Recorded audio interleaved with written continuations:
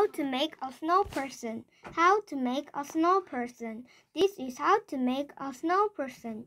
You need to make a bottom, a middle, and a top. You need supples to edit details too. First, roll, roll up a big ball. This will be a bottom of the snow person. Second, roll up a smaller ball than the first ball. This will be a middle, middle of the snow person. Third, roll up a smaller ball than the second ball.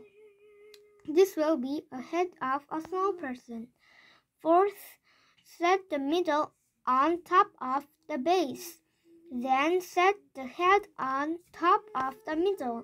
Now you have a body. Next, you can add details to the body.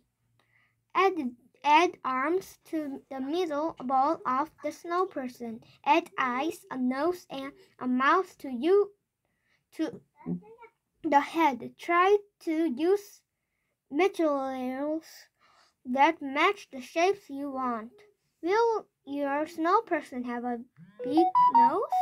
Will your snow person be smiling on frowning? Then you can put a hat on your snow person's head. Finally, you can wrap a scarf around your snow person's neck. You have made a snow person. Will you make a friend for your snow person?